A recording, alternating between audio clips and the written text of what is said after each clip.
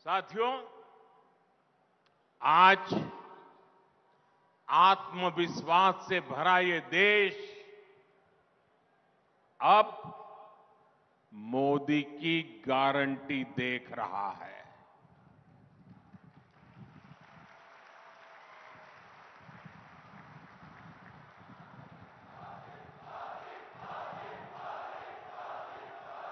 साथियों, गारंटी देने के लिए बहुत हिम्मत लगती है।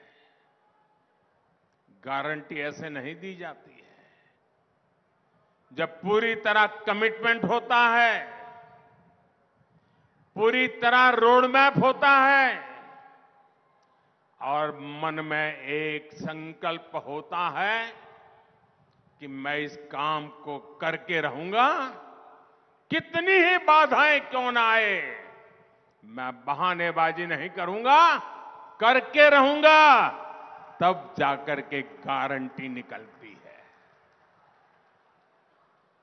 मेरे लिए ये गारंटी तीन अक्षरों का खेल नहीं है। ये गारंटी के पीछे पल पल खपाने का इरादा है। पल पल आपके नाम पल पल देश के नाम 24 बाय सेवन फॉर 2047 भाजपा ने अपने मैनिफेस्टो में कहा है, अगले पाँच साल में गरीबों के लिए तीन करोड़ नए घर बनेंगे। देश के हर घर तक पाइप से पानी पहुंचेगा। और सबसे बड़ी बात मैं यहाँ सब मौजूद लोगों को कहना चाहता हूँ, आजकल हर परिवार में कोई अपवाद नहीं होता है।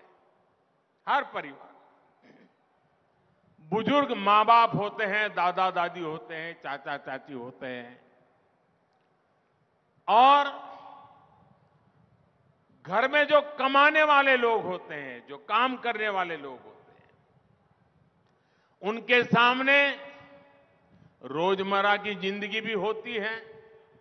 उनके सामने अपने बच्चों के लिए कुछ करने का इरादा भी होता है। और ऐसे समय अपने बुज़ुर्ग माँ बाप का ख्याल रखना और उनको कोई न कोई तो बीमारी उस उम्र में आ ही जाती है। दवाई के पीछे, अस्पताल के पीछे खर्चा होता है। तो ऐसे हर परिवार को इस बोझ से मुक्ति देने के लिए, हर 30, 35, 40, 45 साल के उम्र के व्यक्तियों को अपने परिवार में अपने सपना पूरा करने के लिए बोझ ज़्यादा न करना सहना पड़े। इसलिए मोदी ने गारंटी दी है कि हिंदुस्तान के हर परिवार के 70 से ऊपर की उम्र के जो लोग हैं उन सबको पाँच लाख रुपए तक मुफ़्त इलाज की जिम्मेवारी मोदी की रहेगी। आप पर ये बोझ कम होगा। ये बोझ उन बुज़ुर्गों को कहना, दिल्ली में आपका बेटा बैठा है, वो उठाएगा। अभी हमने गैस सिलेंडर दिए हैं।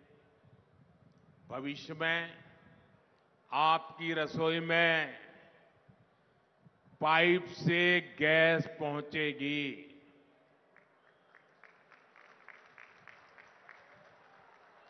जैसे पाइप से पानी आता है, वैसे पाइप से। भाई, गदाधारी। ओ, गदाधारी। आपको देख लिया और फ़ोटो भी निकल गई, आप नीचे रखो गदा, पीछे वालों को दिखता नहीं है।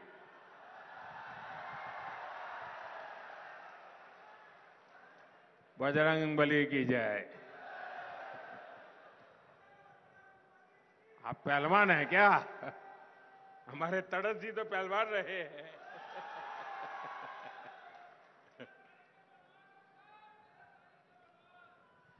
देश के कोने कोने में वंदे भारत जैसी आधुनिक ट्रेनें चलेगी और देश बुलेट ट्रेन का सपना भी पूरा होते हुए देखेगा।